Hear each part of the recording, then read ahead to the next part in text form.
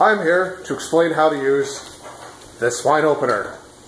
Because it doesn't come with instructions. And so, if you happen to buy this wine opener, you might need instructions. And so, you'll look at this video.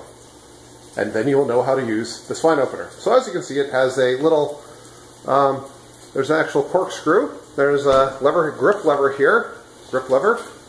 And then this is a lever that will open and makes the screw go up and down. We'll do this again for the viewers. Those, so. All right, so now we're going to look at the wine bottle. As you can see, we've already taken off the uh, foil. It's also advisable that you uh, rub the top of the bottle down, especially if you have lead, because often they have lead in these foils, and you don't want that in your wine.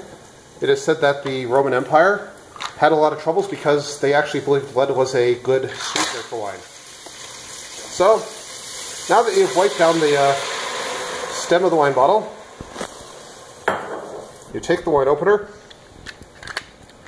lifting up the lever, and gingerly place it atop the bottle. Like so. Then you grip the wine bottle, and hmm, grip the wine bottle, and because you're incessantly obsessed with taking selfies, you use your chin to push down the lever.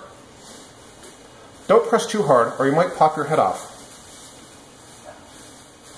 And that would not be good, because then you wouldn't be able to taste the wine as you were pouring it down your throat.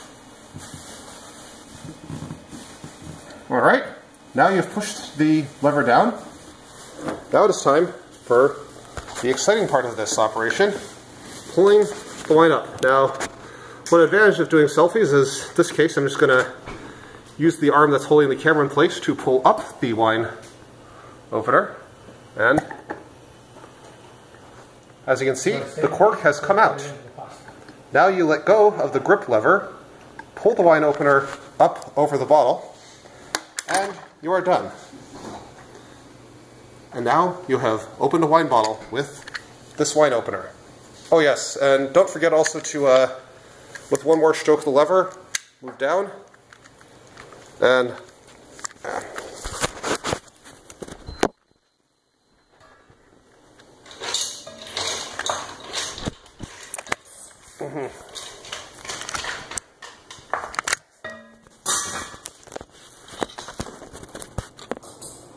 Yes. Oh yes, to clear the cork out of the wine opener, because you want to make sure that when you're opening a wine bottle, there's not already cork in the wine opener. You now just pull the lever up once more, and tilt the wine opener so that the cork falls out of it, and then you are done. Now you've successfully used this wine opener.